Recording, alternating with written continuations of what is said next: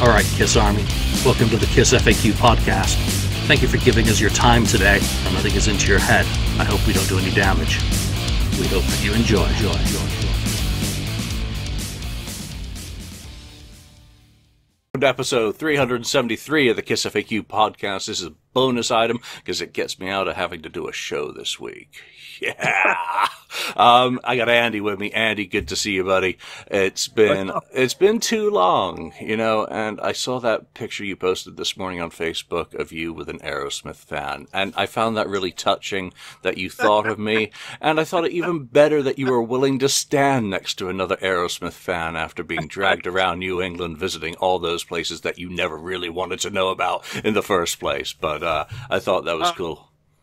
I, you know, everybody knows. If you don't know, I am not an Aerosmith fan. I have never been an Aerosmith fan, and, and now now it's just a joke between Julian and I. You know, so because Julian hates poison, so I, I, just bring up the thing with the poison thing. He brings up the thing with the Aerosmith thing. So we have a little fun with it.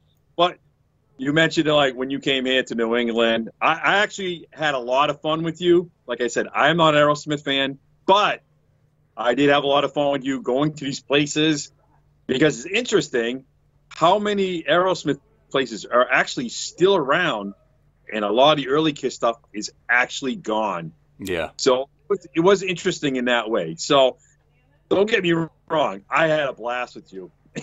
yeah, and, and come on, from that you, you nailed it right there because all those Kiss sites are gone. Their parking lots, their buildings. I stood on the second ever stage that they played. I went to the school where they played their first ever show. We went to the we got in the auditorium for the third show they ever played. We went to the barn where they basically came together. You know, we went to the Anchorage where Joe met Steven. So, you know, from that point of view of history, it was really cool. But I bet there is still a really good bunch of places in New York too, and also, you know, the tri-state oh. area, um, yeah. that can be visited. I think someone's got to put that grand tour together of what is there, even if it is a parking lot, because we go to the loft when we talk about Kiss, and I've still got the photo of me looking up at the loft. We go to Sarge's, and I, I got to ask Andrew to see if Sarge's ended up in that, uh, Madison Square book that the the Kiss uh, uh, Army Spain people did, and I got to get that order today if there's still copies. Hmm. I got it. I just got it uh, yesterday. It, it, finally showed up. It kind of got lost in the mail, I guess. But uh, my coffee showed up, and no, I don't think the Sarge's is in there. That should have been in there because that's an important story that you told me when I was in New York, and we yeah. went there because that was where Paul Stanley went after the freaking show. You know, there he is. He's just headlined the Madison Square Garden for the first time in 1977, but uh, the social challenges of his life uh, that he had no real friends at that time that he felt well, he could he could share with, so he goes to Sarge's Deli. So that's, uh, you know, just like I started at the top there talking about the Aerosmith sites, that's one of those places in New York that if you're a hardcore deep fan, you'll know about. And I didn't, I'm not a hardcore deep fan, obviously. Uh, I, I, went to the, I went to this freaking subway corner and he's like, no, we're going to lunch here and this is why. And you're like, oh, okay, Andy. well, yeah. Well, there's another thing too. Believe it or not, I've been working on, because you said, you said Kiss, you know, places in New York. I, I actually been working on through I don't know five, ten years or more on on Kiss spots in New York. You know, not just the regular Dress to Kill, which I love because that's my first album, but I mean like where Peter Criss, like where Jr. used to get certain makeup, and he used to get like he got like Peter Criss drum and, and drumsticks and stuff like that. I went to the places, you know, I asked if I could video some of the stuff. I put videos up when we were there in New York during that Peter Criss weekend thing, uh, the expo there, and in places, right?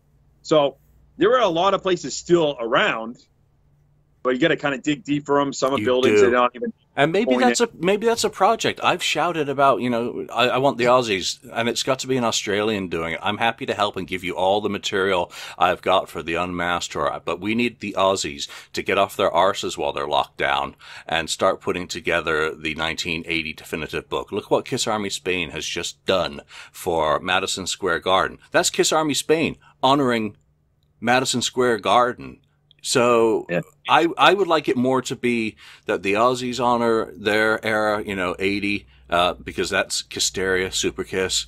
Um, I would love that more than anything, but I would also like these places. I've got a ton of receipts from the crew, uh, from pre anyone else in the crew. So guys like Moose and them buying tassels, buying single drum bits and pieces in 73 and early 74 for the Canadian, the first Canadian tour. And then out on the road, I've got repair bills from Nashville when they're on the road, trucks breaking down, you know, so sites like that, even even see if they still exist. I don't know. Uh, music shops. I got Aces, you know, going in uh, right before recording the um, studio album and buying a hundred picks. You know, uh, Paul guitar repairs. Uh, Manny's. I think I, I've got so many receipts. I don't have, you know, I don't know how many, but again, there's still a lot of um, you know, hardcore fan books to be made by those who are willing to take on the project, not sell it in advance of it being fucking done and ready for sale.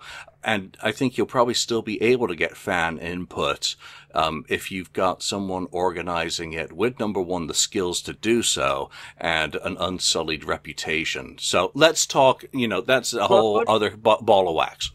I know, but let me let me say this. I just got the Spain book when they asked me, when they got in touch with me, they're like, "Hey, Andy, man, I know you're a huge fan. Do you have anything from New York?" And I'm from New England, but I did go to four shows through the years. You know, uh, the reunion, second night, Sonic Boom, Alive 35, and one more. I'm sorry, I'm going break. But I did donate. I didn't even care. I said the world needs to see this stuff. I know people hoard this stuff and they want like huge money to be able to see it. It's like, come on, I'm getting kind of ridiculous about some of this stuff. I, I get, I don't know, maybe it's just me now. Maybe getting older and I just don't care in that way. It's like, you know, I, I, I donated a lot of pictures that I took that I had, and then I donated, like say donated, I just took pictures, the right pictures, and and then uh, newspapers. You know, like the day after the shows, I had grabbed many newspapers I could find, and I sent them. So uh, looking through the book really quick, it looks really cool. There's a lot of awesome photos. If you like photos and stuff and some stories, you should check out that book. You know, some of my photos are in there. It's not just because of my photos in it. There's a lot of other people's photos and his stories and stuff.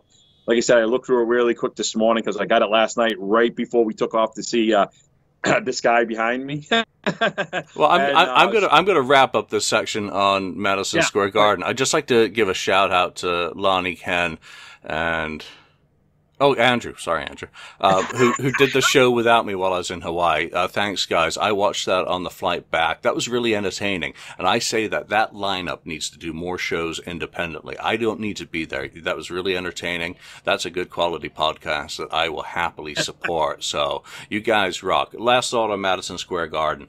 I made the pilgrimage to Madison Square Garden specifically to see Kiss at that venue because it is almost holy ground. It is their home hometown. It is the place where they said that that was where they felt they had finally made it and the place that they aspired to playing in order to quantify the measure of their success. So I flew San Fran to Newark into the city, uh, stayed across the street. I walked around videoing that place. I took hundreds of photos. I gave all that shit to Andrew to use for his one last kiss, um, you know, video project and all that. So, uh, it, it really was holy ground to sit in the city city where they came from with a New York, New Jersey crowd. Sorry, Jersey. Um, you know, it, it, really was one of those things, and that's why I did the forum as well, uh, exactly for those reasons. Those two venues, left coast, right coast, um, just the things that you have to do in in my mind as a, a fan who came aboard, you know, eighty five, a little bit late. That's the only way I can overcompensate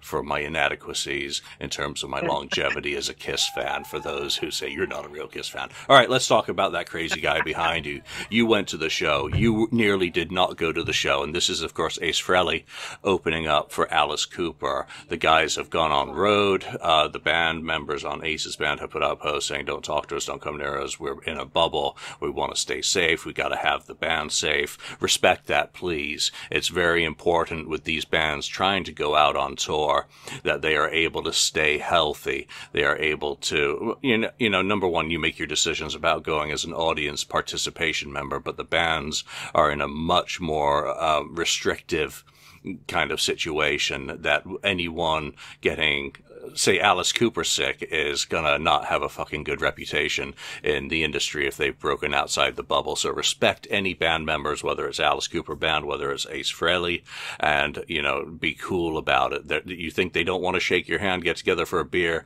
you're wrong. But they want to play music for you. And that's what you're there for. So you nearly didn't make it. Give, give us the quick skivvy on what's been going on, man, because you're skinny as fuck and I'm jealous as hell. well, uh, well, I had to lose some weight anyways because I was uh, diagnosed last August with uh, non-alcohol fatty liver disease. So they told me the best thing was, you know, of course, not drink alcohol. So I'm not a big drinker of alcohol anyway, so it wasn't not a big deal. Uh, cut out all sugar drinks, which okay, not a big deal. The biggest thing, the hardest thing is probably it says they, if you can, cut out red meat. So that means anything like you know, hamburger, steaks, that kind of stuff. Anything it's a livestock, basically try to cut out or really cut back thing, and kind of went cold turkey, you know. So, and that means eating turkey, chicken, you know, all that kind of stuff, and cut back really into red meat. So I dropped a lot. I was at because I had got sick. I was at like at 240. Then I got got down to uh, the weight I'm supposed to be technically about like 200. I dropped down 199. Now everything was good, and then weird. I had a, um, uh, an appointment to go see the doctor. All of a sudden, I got up on a Wednesday. I wasn't feeling good. I felt like fatigued, like almost like before you get the flu. So I went to the doctor, and then all of a sudden, the next day, I got up.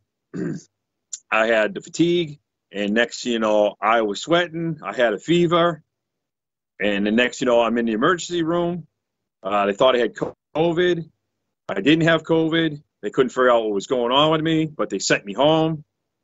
The next day, I went back to the emergency room because things were getting worse. Uh, I couldn't kick the fever, and I mean the fever. It was over 100 the whole time. The whole time I was through all this stuff. So it was running from 100 to 100, almost. Uh, it was like 103.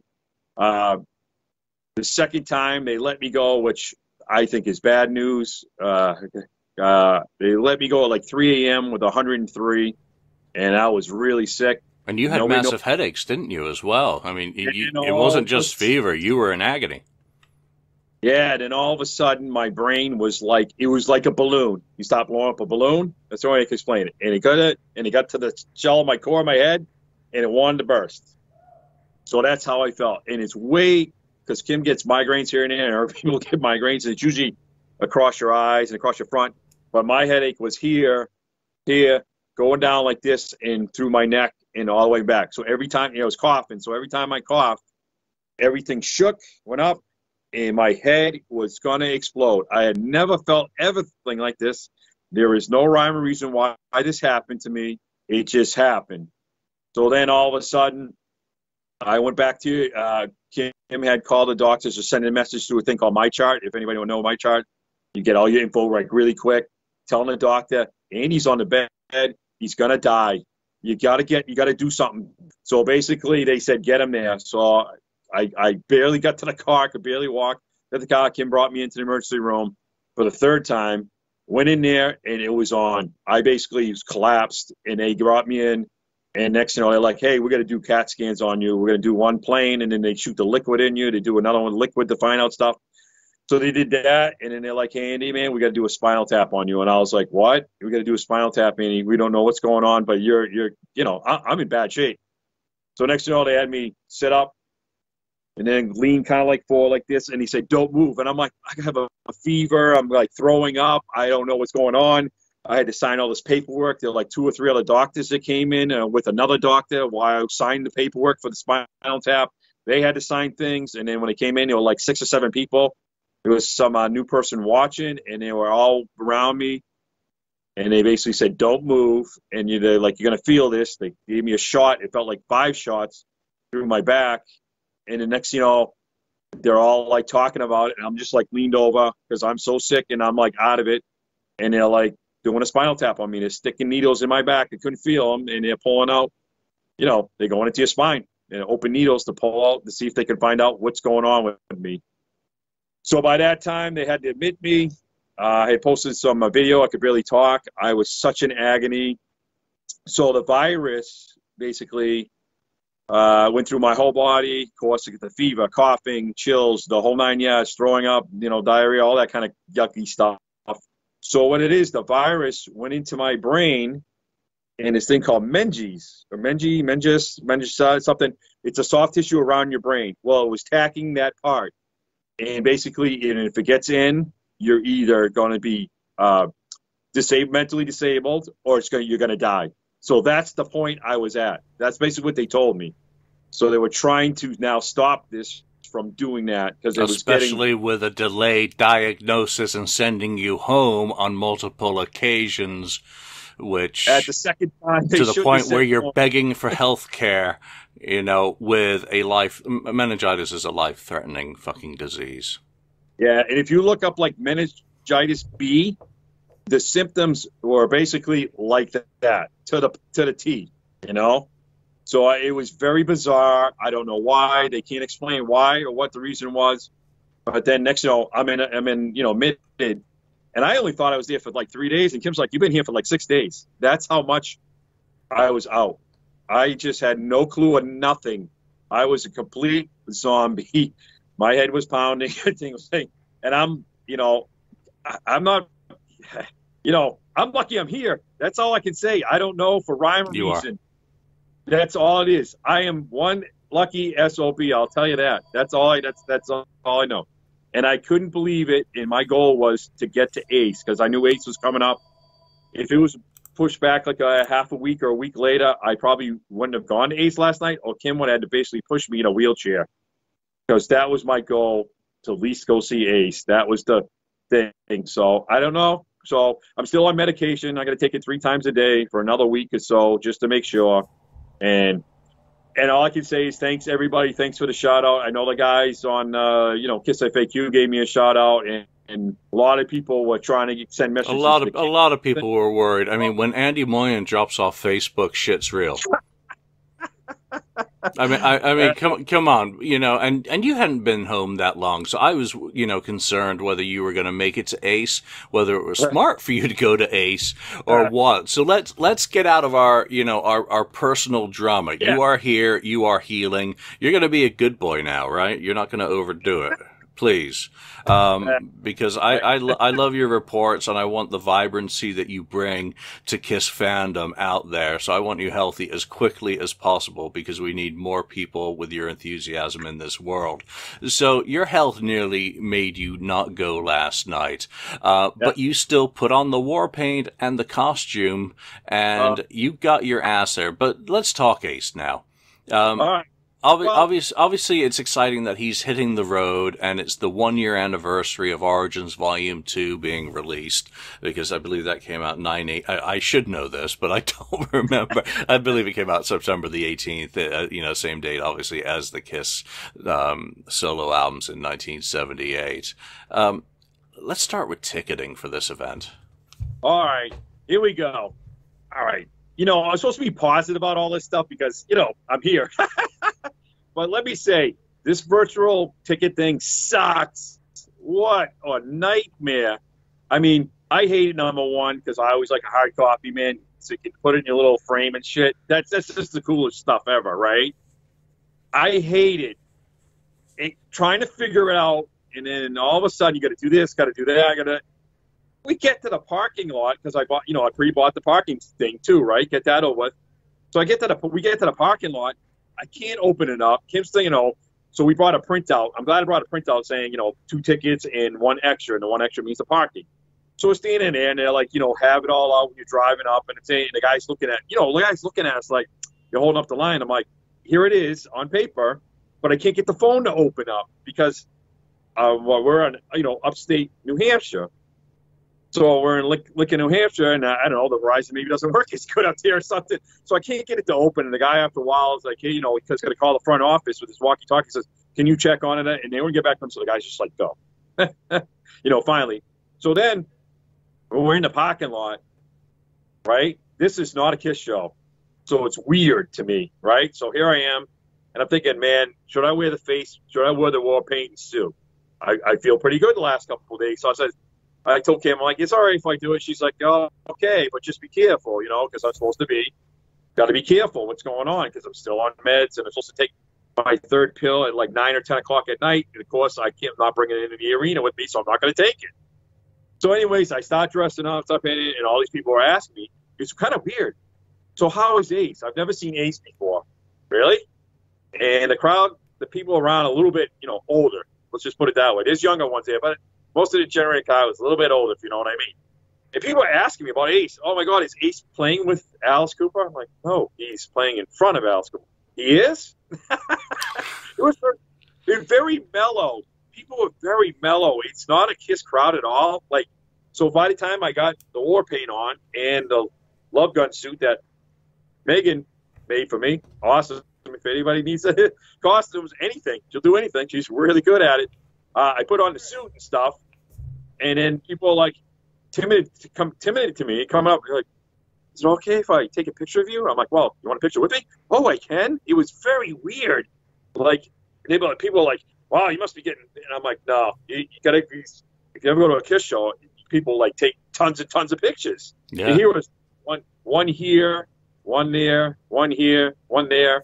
It was very bizarre. It was very bizarre. So then, so then, me and Kim like start walking to get to because this is an outside thing, but it's small. Not that small. I think it's nine five hundred. I think it says it holds. So, anyways, so we're walking and here and there, people would ask me for a picture, and they're like, "Ace, Ace, Ace," and uh, you know, thumbs up, and it's all fun. So then we get to we use security now. we get to the security, of course, as always, you know. So I brought because you could only bring like a little purse, and you can bring no bags, but you can bring see-through bag. Mm-hmm. A 12 see-through bag. And I said, you know what, Kim? The way I'm feeling this and that, I should have thought of this. I always do respect with people. I have the costume on, and I'm tall anyways. And then I put up the two, put on the boots. It makes me even taller. So I always say to people around me, if they're behind me in the seats, I will take the boots off if you can't see. And I'm usually standing there in my socks. So I said, you know what? This time I'm going to take my sneakers with me, and I'm going to put them in a see-through bag. But we couldn't find a see-through bag but the only bag that we had was from whoop, that was good. Goes that. Uh, from the kiss store. you know what I mean? Yeah. So I put, I put my sneakers in it, and I get up to the security thing, and it's this little lady.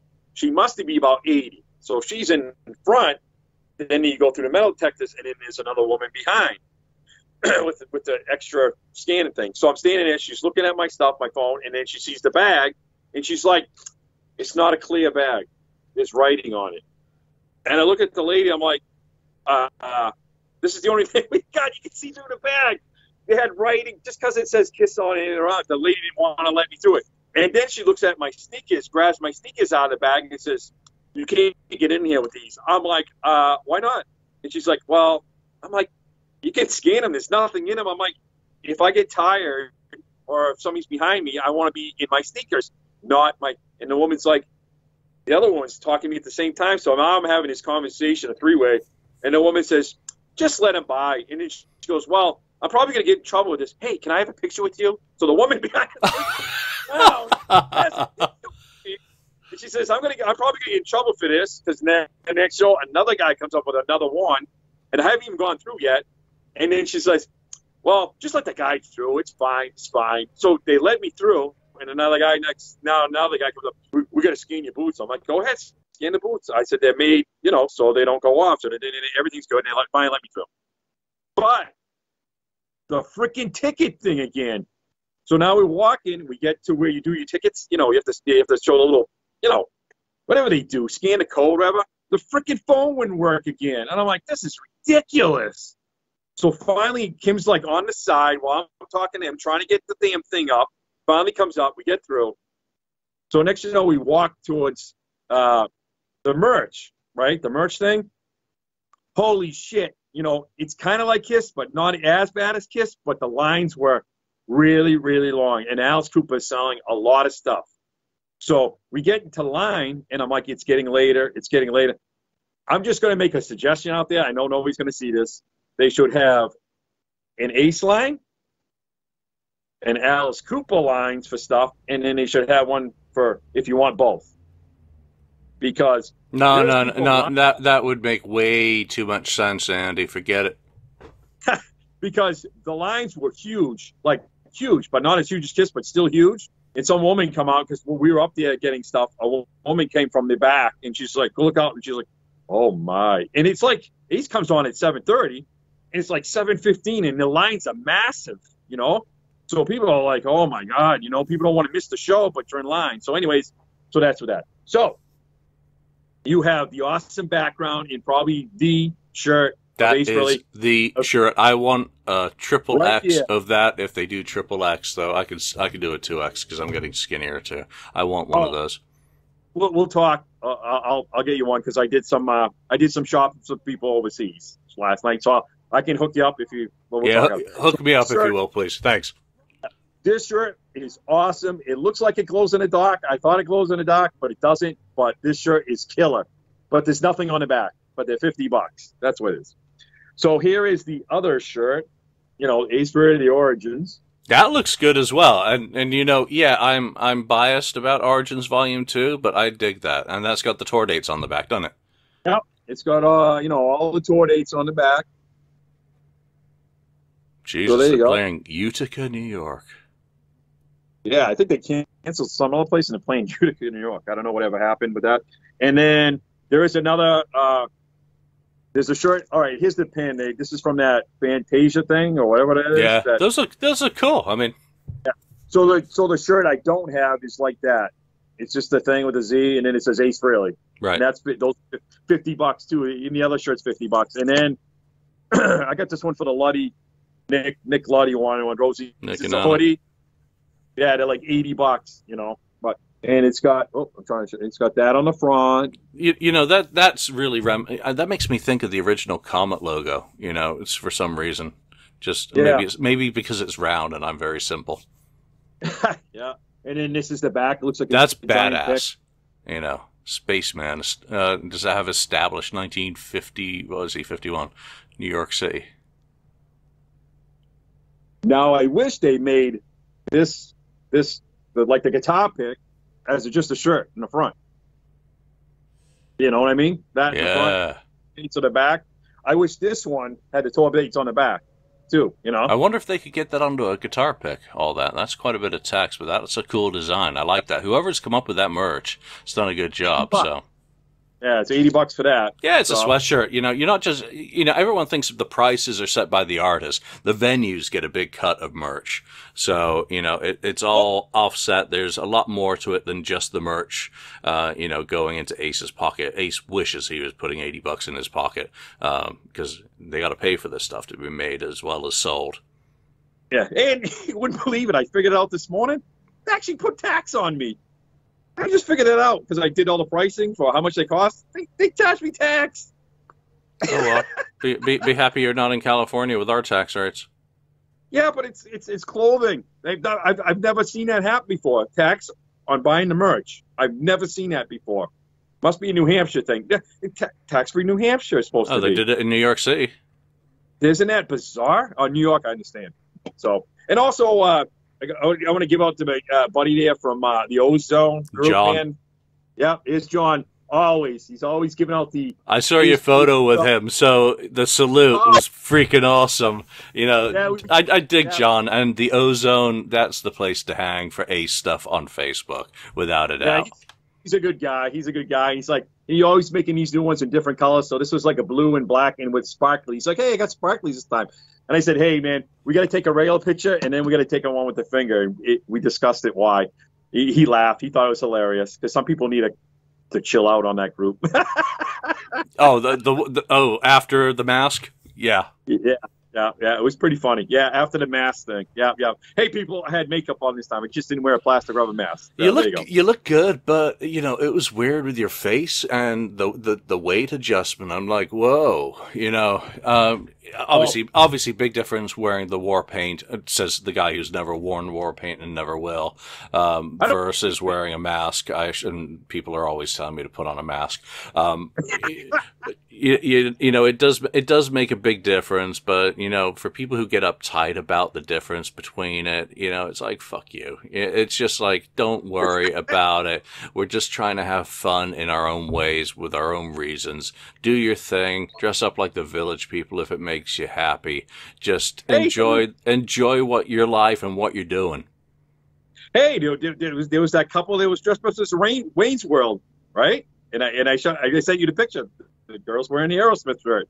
yeah, you, you know, no? you, are going to a rock concert. There are no rules. I mean, um, you know, I, I, was going to go to the luau in Hawaii wearing thrash or die, but I, I, think that wouldn't have been such a good idea. Number one, my wife would have killed me. Number two, I think they may have killed me. So, um, sorry, Ralph. It didn't get to advertise for you in Hawaii. All right, let's talk about the show because what? Ace is an opening act. Or did you have something else you wanted to wrap on? Yeah, yeah. I, I got to give about the shout out to the wife, Kim, because I'll tell you, man. the wife, Kim. Yeah, uh, I, Kim, You yeah. know, she needs a grander title than that, Kim.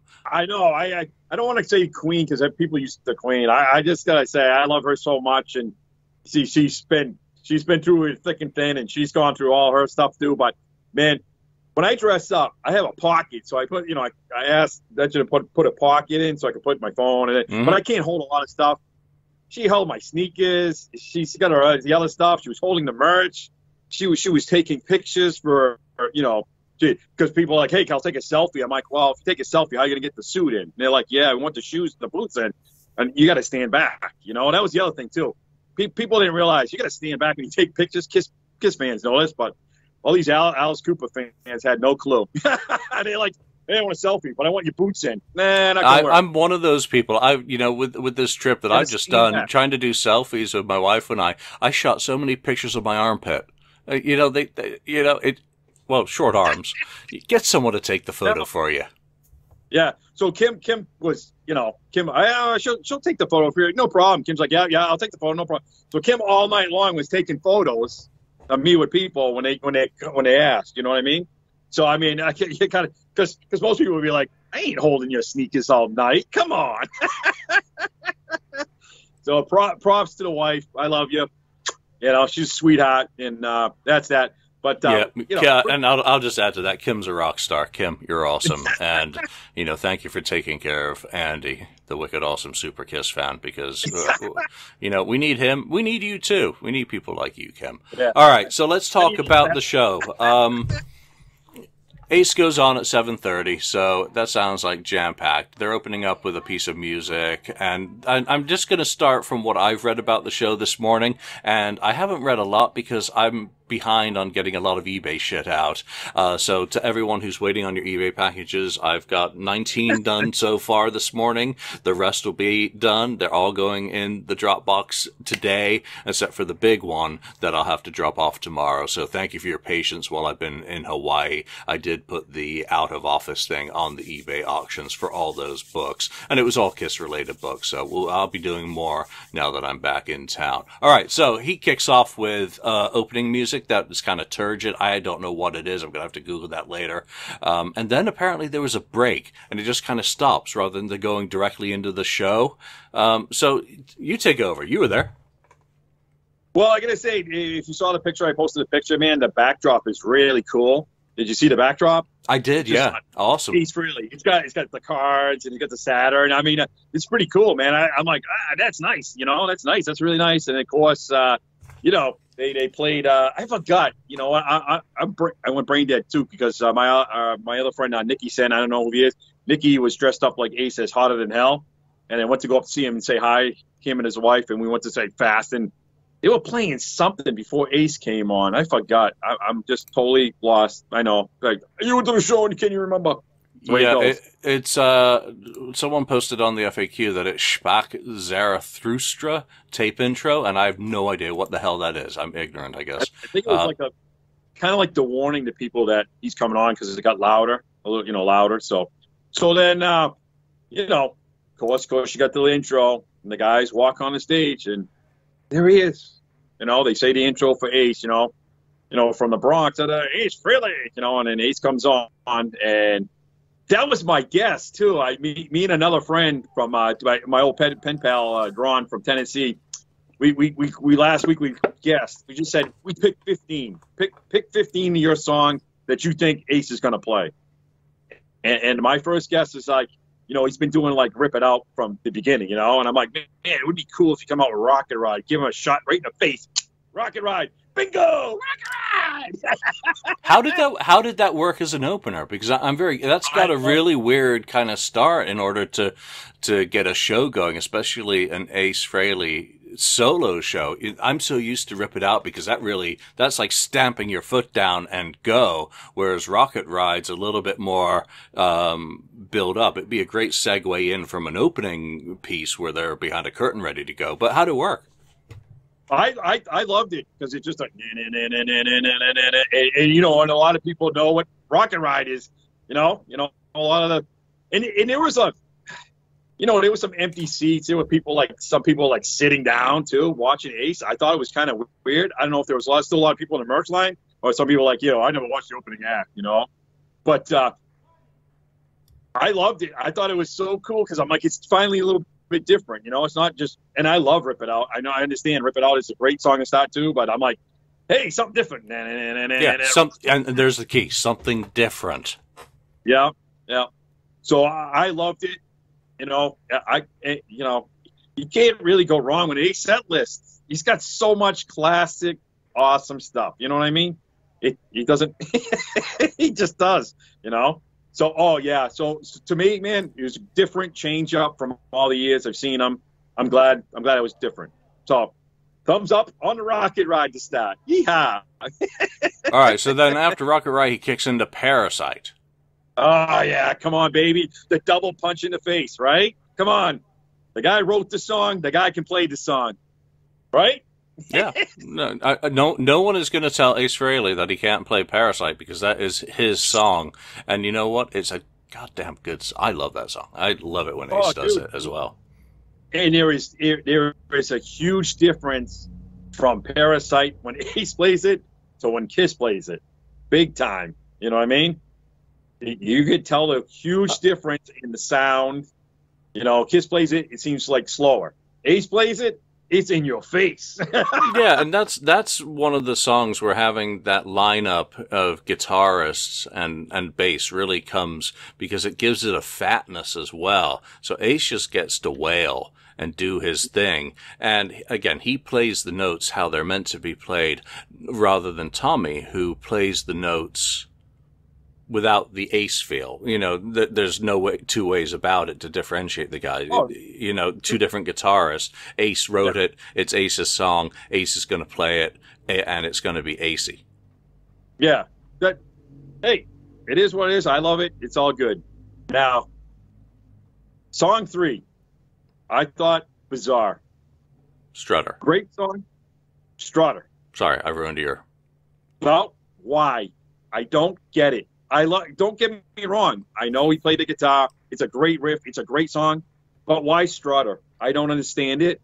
I, I don't get it. He has such, you know, he could have played like you said, rip it out. You got Snowblind. You know what I mean?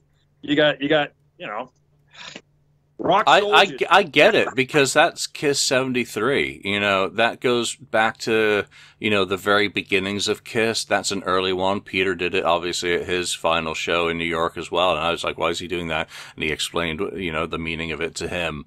So I, I get it from that perspective. But when you look through the rest of the set list, and we'll get there at the end, you know, I really would have preferred something off the Frehley's Comet album at that point, just a remind. And yeah, I'm going to say, yeah, love me right. Um, and everyone's going could say, no, we got your rock. Uh, you know, um, but there should be something from there. And that to me was, would be one of my criticisms of the set as an all, that there's not enough non-Kiss Ace solo stuff represented in there. And rather than, you know, a, some, I, I don't want to call it a throwaway track, but an, uh, like you called it, a strange decision to have Strutter in there. I think, you know, whether it's something off the first album, whether it's off something, uh, you know, trouble walking or even anomaly at that point just would have been uh, a little bit smarter than three kiss songs in a row.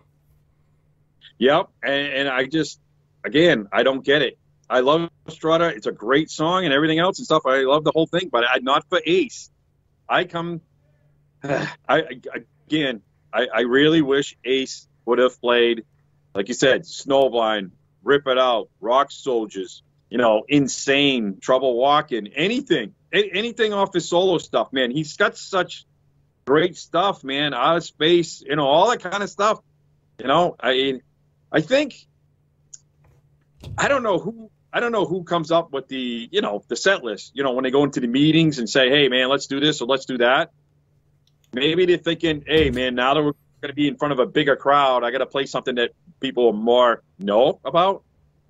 You know what I'm saying? Mm-hmm. Instead of playing the deep cuts. Well, but- yeah, he does have to to a certain extent because as an opening act for Alice Cooper, you've already kind of explained the differentiation between the audience that you're, you're somewhat outnumbered by the Alice Cooper fans. So yeah, he's into doing a kid. You know, everyone remembers is uh, you know let's let's be that that casual Alice Cooper fan who has heard of Kiss and knows Ace Frehley from Kiss and maybe knows you know the same songs that the the non-diehards expect for Kiss. So I think he's probably catering a little bit more because if he starts doing shit off Second Sighting or or you know uh, going deep cuts for Frehley fans, he's going to lose that audience and he's got a, a, shorter set, a limited amount of time to present his material. So uh, the sad part is, is that he's, you know, just selling albums for Universal rather than having people buy his current catalog from E1. Yeah, but he, here's the here's the thing. Who cares? Who cares about you know Alice Cooper fans if they don't don't never seen Ace before? If you never if they you want to believe how many people in the lot in their area said, "Hey, I've never seen Ace before. This is the first time."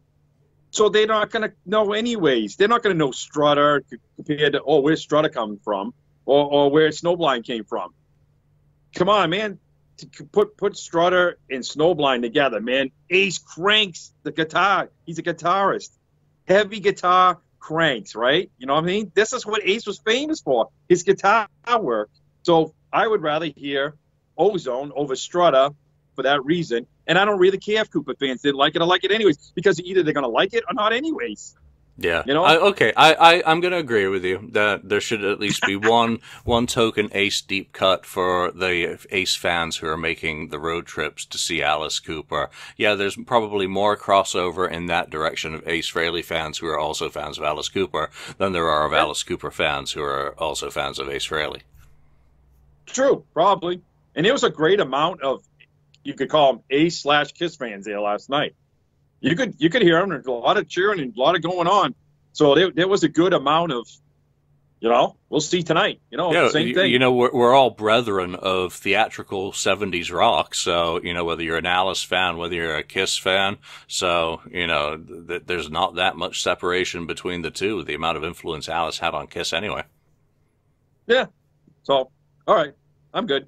All right, next, where and now from how this has been written down, um, it looks like he did a medley of stuff of Origins yeah. Volume Two, and I hate medleys with a passion when they're presented in the middle of a set, rather than being, say, a fun one where they noodle around different rare cuts and have fun, uh, or they throw you know, Snowblind, uh, stuff off uh, Trouble Walking and all that sort of stuff, or I'm in Need of Love, giving a taste of that, uh, which uh, oddly, that's just a nice segue for a second.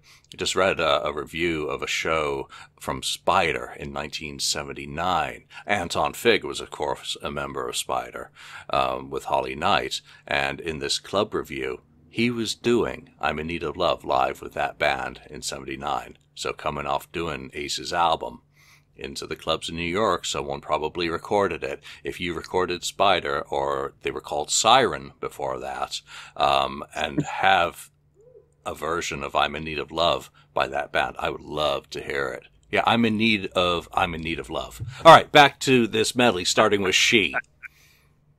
Yeah, I mean, uh, you know, he said that uh, he said that, you know he's on a time, you know, a time, you know, they only have so much time, da da da. So he's going, I'm gonna we're going to play a medley. And then they went into it. So they went into she. You know, let's start out with she. You're gonna you got to probably all written down there because I can't remember all like in a row right now. My brain is still fried. Yeah, I'll, I'll, I'll, lead you through it. They start with she and then into manic yeah. depression, which is a, a, a, again a really great thing for that amount of guitar on the stage. How was that live? Um, and and in each one of these songs as we go, you know, I'd like to know how it was how how it was for you, Andy. Was it good? Um, you know, you you know me personally, no. I, I and I understand why Ace did it because those are some of his heroes, you know, some of his guitar things. But I come to see Ace Frehley. You know what I mean? I, w- I wish he did a medley of Ace Frehley songs. you know what I mean? I, I that's because because I've seen you know I've seen Ace so many times through years since the '80s. You know, for solo tours and all that stuff. And he used to do medleys, and he used to do a lot of medleys with his stuff and his stuff in between. You know, kind of a mix. So I would rather hear. Again, I'm going to see Ace Frehley. I want to hear Ace Frehley stuff. You know, even Kim said the same thing. You know, I, I don't, I don't, you know, if I want to turn, you could turn on any radio anytime and hear a Led Zeppelin song. Sorry. Yeah, but he's promoting. I, I, think it's important to also remember that he's promoting Origins Volume 2. This is the tour for the album a year late because of COVID and all the shit that's gone down. You yeah. know, in that. So, it, it, and especially being a condensed set. Did he say anything about this is from the new album, Origins Volume 2? Uh, did he, yeah, prom- did he promote his stuff? yeah, I kind of mentioned, you know, I, I get the Origins 2, blah blah blah, and then you know this this and that. So I kind of get it that way, but it's kind of, I, I guess since everything's been pushed off like a whole year, You know it, I mean? it, it, feels weird, especially when being combined with being in an opening slot with a limited, you know, length uh, of your set. I think it's probably the best way that they do it. They go, oh, so they do Hendrix's Manic Depression into Mountains, Never in My Life. I gotta find a recording of that from last night because that's the one I was most, uh, you know, that and Space Trucking were my two kind of wish lists uh, from this album to be performed. Well, I'll I'll I'll, I'll do it tonight. Boy, yeah, th- there's already a, a, ton of video, but again, with uh, oh, I got to focus. I got to focus on the eBay customers and getting their orders out, uh, and then closing with good times, bad times from the medley. So uh, you you've already said you you can turn you can turn on classic rock radio to listen to any of those songs. Um, I think those are, are, good safe ones as well. well, they played a lot of the uh, Zeppelin at the end. You know, basically almost played the whole song. Wasn't like cut that much. I mean, the crowd was okay with it. They're like, yeah, you know what I mean? But there were more cheers for his stuff than that stuff. Believe it or not. Just good. Saying. Good. No, that that that that's you know really good for him to kind of know. And then they kick into the very obvious, all too obvious Detroit Rock City. Yeah, and um, you know I, I understand why they play because you know the guitar thing. Everybody fans know the song and they wanted to give some. Uh, oh my god, I forget the game names of the guys. Everybody else a chance to sing, you know, and uh, he can sing Detroit Rock City pretty good. And believe it or not, the crowd after it was done went absolutely wild. Hmm. They did. It was it was like wow. It was like a huge, huge cheer for Detroit Rock City, humongous. So I get it.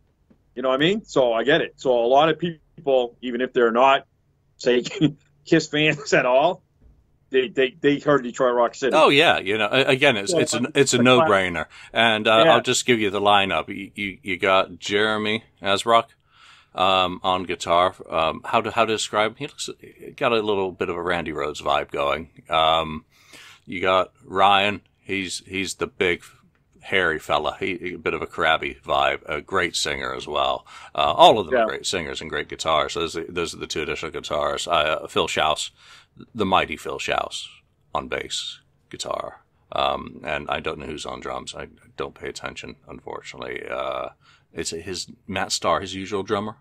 Hope so. Yeah, because he, he, he's freaking awesome. He slams yep. those skins, and he's just really, really good and fun to watch. Great band to back up Ace. Always well, on point.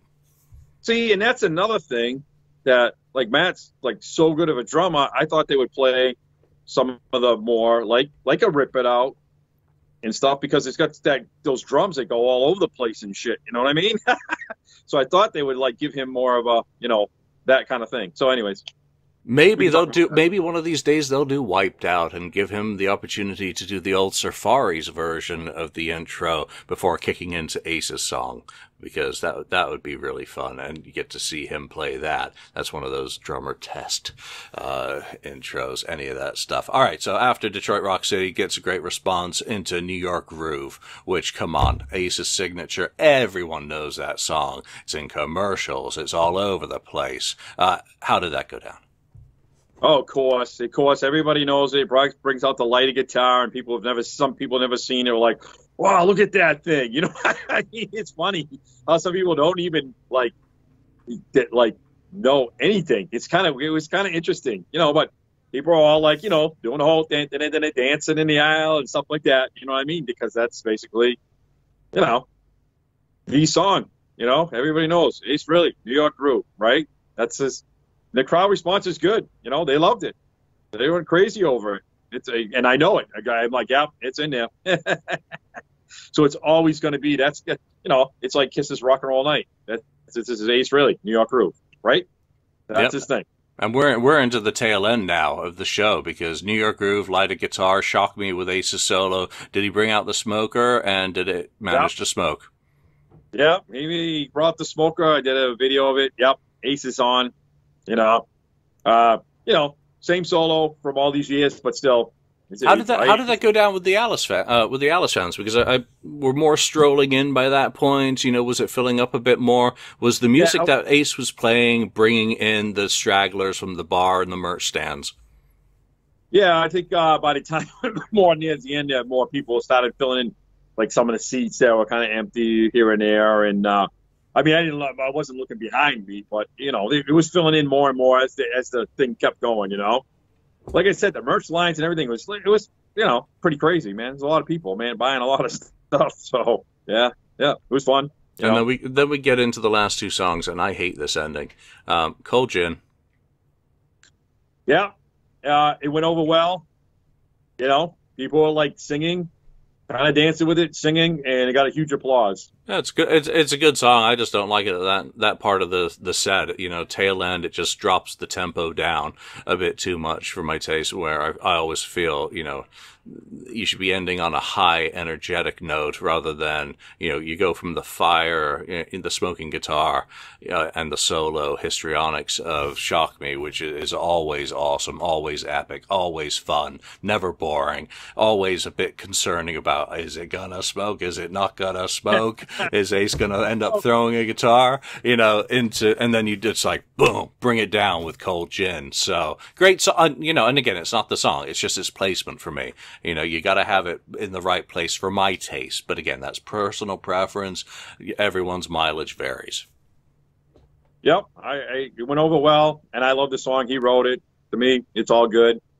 Uh, Kim loved it too. She's like, "Yeah, I love this stuff because uh, you know he wrote it. It's all good. Sounds different." And then uh, what they do at the end of Cold Gin, it goes right into uh, what is it? Uh, geez, Deuce. Black Diamond, right? Deuce. Nope. No, you get the Black Diamond. Don't forget, Black Diamond was played, I think, at the end of Cold Gin. Like oh, the, the, the black, the, the little Black Diamond outro thing. Yeah, yeah, yeah, yeah. He's done yeah. that, done that for years. Which yep. uh, again, it's a cool way just to sneak in a little touch because uh, uh, you know it always works. And then he goes into Deuce, doesn't he? Then he goes this, and I figured this was going to be the last song. I love Deuce. Deuce never gets old. You know what it I mean? Doesn't. It, it, it's all. I don't care where he puts this in the set. It could be first song, last song, middle song. He can play it five times in a row, or Kiss can do the same. Deuce is my gotta, and whether it's Ace, whether it's Kiss, you know, God, God bless him, Vinnie Vincent. If he plays, if he does Deuce, he'll make me happy too. Yeah, I love Deuce. It, the way it does it, the whole groove, the whole thing, and of course, everybody knows that's basically, you know, the first song and first solo that Ace ever played with Gene and Paul you know, yeah, when he came in. That's that's his tryout bit, you know. So it's uh-huh. special. That's that that is that's you know that's the foundational. That's the marriage ring. Yeah, and that's awesome. So, and the crowd responded really good because they did all the things and having a little fun. So it went over really well. So now, I thought it was now now seeing Ace through the years and seeing him with the new guys playing. I thought the guys were like I've seen a guy when they play, they're usually energetic. You know, they're kind of running around a little bit. They were not like kind of running around. They were kind of just there. I don't want to say that like just there, but they were there. They weren't running around like you used to see them. You know, like you see them at the expo uh, when they play when Ace did his thing in Jersey. Those guys are kind of like running around, you know, dancing around more, moving around.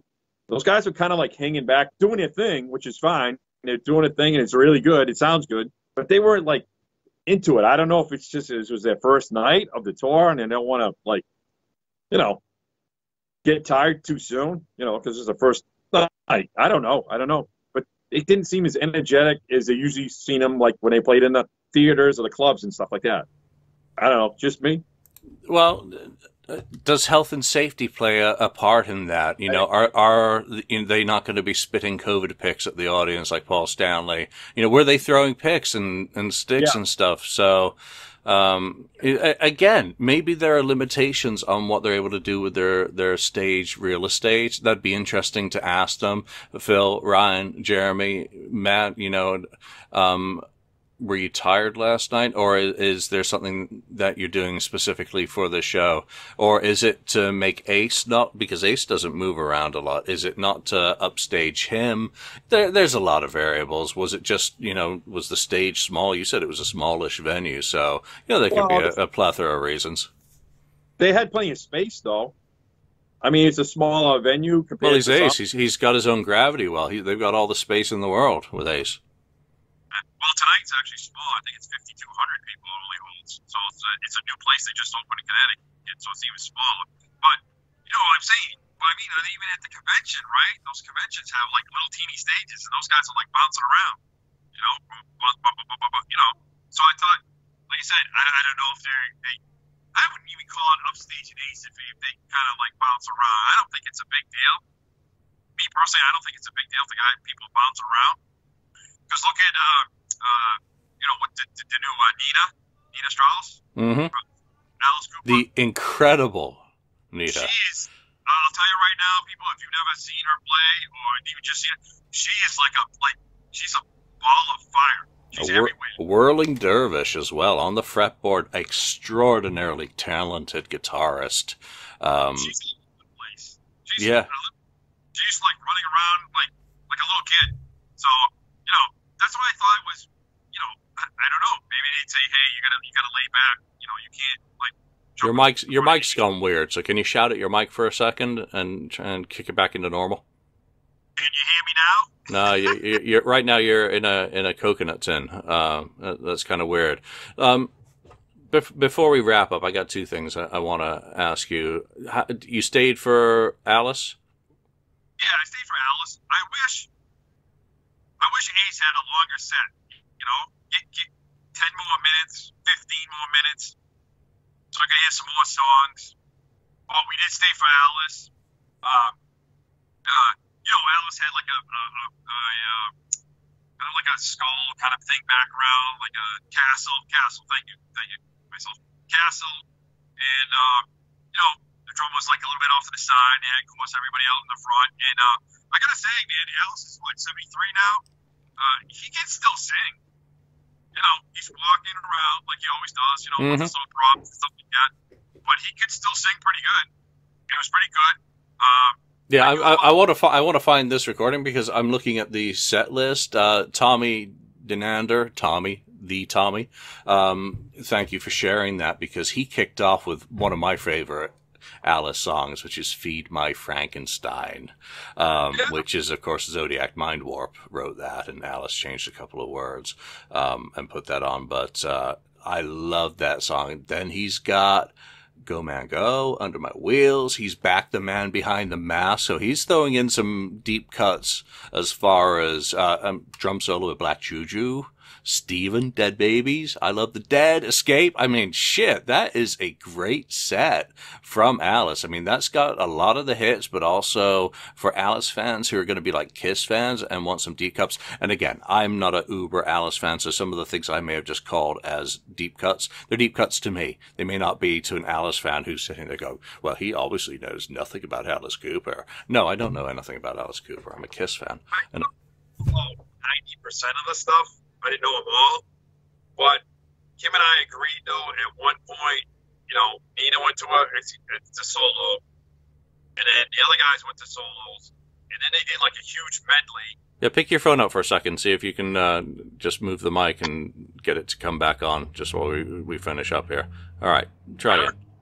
Let's see. Better. A little bit. Well, well, well yeah, we've we've gotten all the good stuff in, so um, finish up your thoughts on Alice. Yeah, um, but but Kim and I both agreed like Alice disappeared for like 20 minutes or something like that. It was weird. He just like disappeared. And they went into giant medleys and all kinds of stuff, and they were playing like you know almost like a Phish thing or whatever. They're Grateful Dead. It just kept going on and on and on. We're like Alice just sang like 15 songs were all like quick. He didn't stop though. That was cool. He was like song after song after song after song. He wasn't talking a lot. He just kept playing, which was cool. And then all of a sudden he disappears for like 20 minutes, and the rest of the band's just like playing, and all of a sudden it's like, what happened? It kind of like it kind of killed it. It kind of killed the whole thing. And then of course we came back. You know, they did the babies thing, and then of course they ended with, uh, you know, uh, what do you call it? Jeez, I'm, I'm like dead zone today, man. Of course, they end with uh, schools out, you know, some confetti flies. They go with big giant colored balloons with confetti in them. Everybody's going around, and he's, you know, and then he's introducing the band, all this stuff, and this and that. And he's like, yeah, we're playing Alice Cooper tonight, me, and of course everybody's cheering and stuff. You know, so it was a good show, but it was just kind of weird. That one part in the middle got kind of weird. But you know, was that was that after was that after the drum solo that it got weird? Yeah, I think so. Yeah, because that's Black Juju. Yeah, that, that's yeah, a bit of art. That's a bit of art rock uh, from that time as well. Yeah. And then uh, I don't know. It, it, was fun. We, we had fun. Uh, you know, and then uh, I gotta say though, there wasn't any crap from you know Ace fans to Alice fans. It was like, yeah, yeah, yeah you know, Ace sucks or you know, maybe like that. So everybody was cool like that. So there was no problems like that kind of stuff. But uh, you know, I did enjoy it. It was fun. But Rama too Ace and Alice played back in the '80s together. You know, what is it? Yep, '87. So back then, I saw that stuff. So it's not like I didn't see. I've never seen Alice before, you know. So uh, this is a slow song Kim wanted to hear from Alice. I forgot the name of it. I guess it's it's a real slow song, and it's I, she's not here to tell me.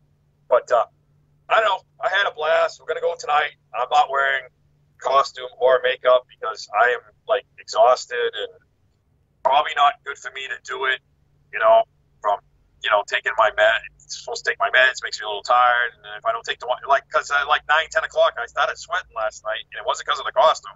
It's because I needed to take my pillow, and it was in the car, and didn't want to bring it in the arena. I didn't want any crap, da, da, da. So we're just going to go time, and we're, we're going to wear new shirts and just hang out.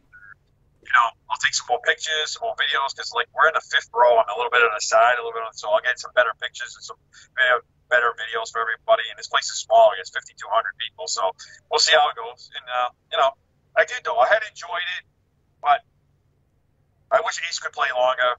And I wanted to hear more deeper cuts. So if you could play longer, you had more songs because you ended up playing what nine songs in the medley. Yeah, and that's why I'm interested to know tonight whether they change things around or they're just going to kind of stick to a standard form.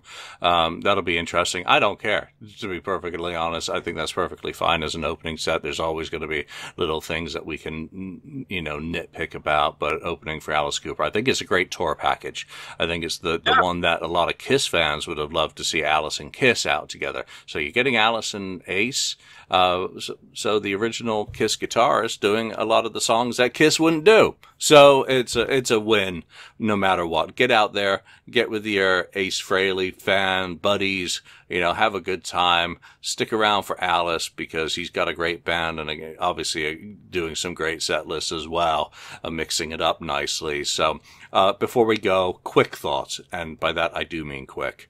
Um, obviously the Kiss Destroyer 45th anniversary box was announced yesterday. You're you're you're hardcore. You what what are your thoughts on it? You happy? Does it appeal or what?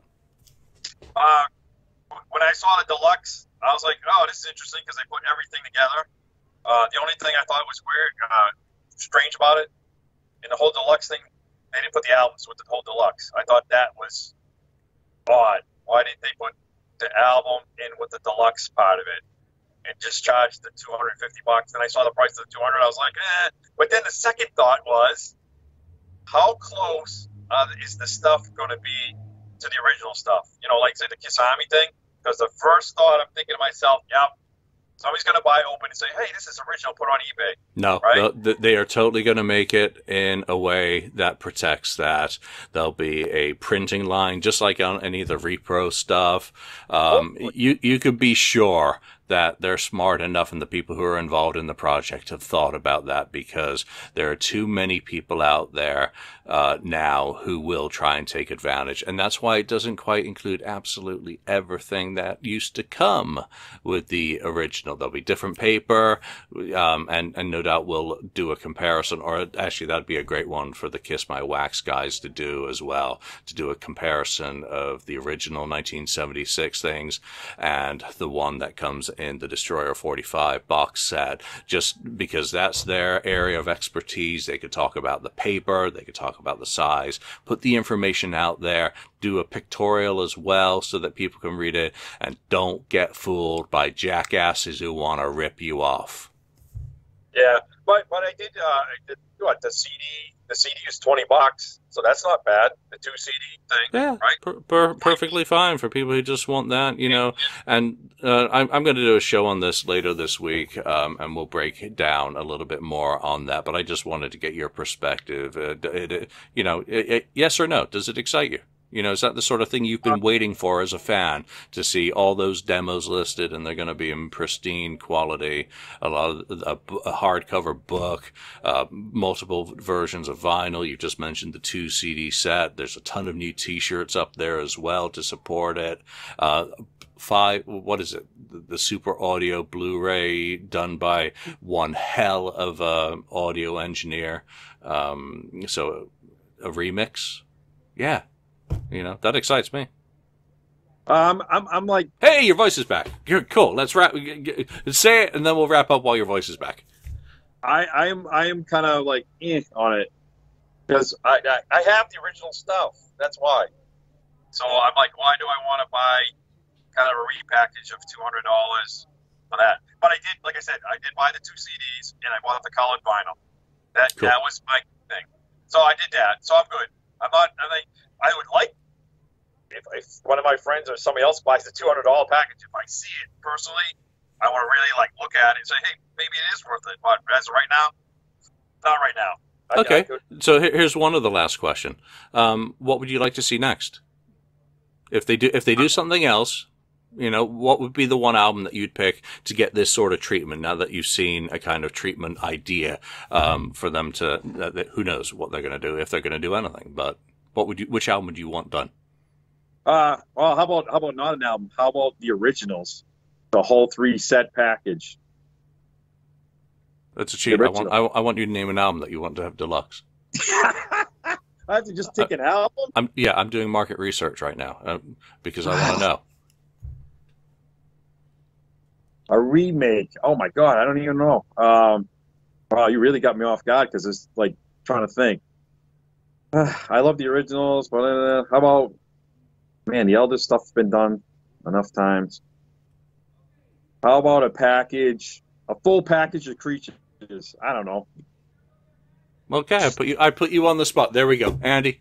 I want you to stay healthy tonight. Have fun at the show have have a great time. You take it easy, and uh, I'll I'll check your Facebook out later and tomorrow to see if there's any changes to the set list, uh, whether Andy gives it a thumbs up or a thumbs down or a who knows. All right, Andy, thanks for joining me, and I will see you soon. Talk to you guys later. Thanks again, everybody, for the shout outs. Thank you for spending time listening to the Kiss FAQ podcast today. All sales are final, there are no refunds. If you'd like, look us up on Facebook or come over to the KISS FAQ message board and discuss the topic we've broadcast today. Don't forget to rate us on iTunes, Spreaker, or wherever you've listened to the show. We hope you'll join us again.